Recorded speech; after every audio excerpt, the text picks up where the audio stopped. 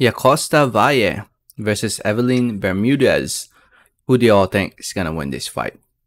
Before I get more into the video, I just want to say thank you. Thank you so much for watching. Please subscribe for more boxing and please hit that like button. It helps out the video. It helps out the channel. I'd really appreciate it. So this fight between Valle and Bermudez is uh, set to take place tonight. As you guys can see, they recently had the weigh-ins. Both fighters made weight. Both fighters uh, weighed in below the 108 pound weight limit, uh, with Bermudez weighing in at 106 uh, pounds and uh, Valle weighing in at 107 and half a pound. Both fighters look like they're ready to go. We have ourselves a fight. Fight will be for the IBF and WBO junior flyweight title, which Bermudez will be defending in this fight. Uh, Valle is actually also a champion, um, but she's moving up in weight uh, to um, challenge Valle.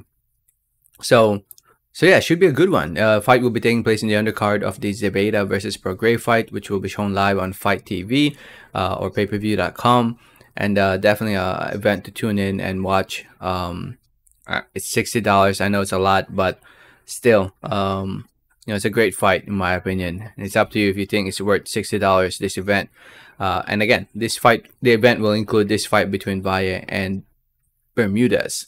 So Anyway, a little bit more about Valle. Uh, she's a 30 year old fighter from Costa Rica, 26 and 2, 9 wins coming by way of knockout TKO.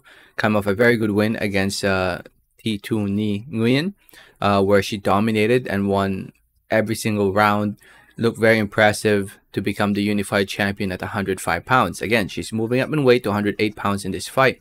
She's moving up uh, to, uh, 5 pounds. No, three pounds, three pounds, so 108 pounds. And uh, she'll be fighting Bermudez, who is a 26 year old fighter from Argentina, with a record of 17 wins, 0 losses, 1 draw, 6 wins coming by way of knockout TKO. Bermudez is coming up a win against uh, Yaranida Altuve. Uh, she's fought most of her fights over in Argentina, only fought once outside of Argentina when she fought uh, in Mexico against Silvia Torres. Um, since then, she's just been fighting in, in Argentina and here she is getting the biggest fight of her career, uh, fighting in the USA. Um, now, when it comes to who I think will win this fight, styles make fights and skills pay the bills. And Yokasta Valle was very impressive in her last fight. I was so impressed that uh, it's hard to go against her. It's hard to go against her. And I think she'll go out there and look impressive against Bermudez. The styles just favors her the skill set as well. I think the skill set gap between the two, I think Valle is the better boxer between the two. Um, do I think Bermudez has what it takes to make this fight competitive? Yeah, I think she'll make it competitive. I think she'll um, try to outwork Valle early on.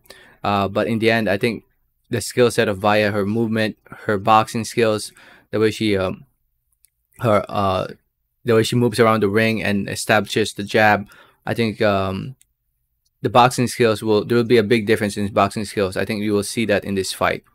Um, so I'm I'm saying via seven rounds to three.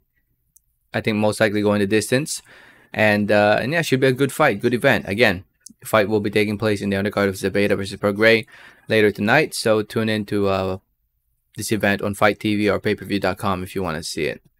Let me know your thoughts in the comments. Thanks for listening and watching, and like always, have a great day. All right, thanks.